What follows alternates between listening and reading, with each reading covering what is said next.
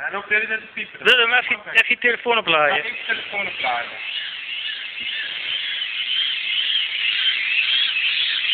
Dat is vast. En dan kan ook nog ondertussen kan ik nog eh, uh, apparaatje erbij aanzetten. Je kunt meezingen.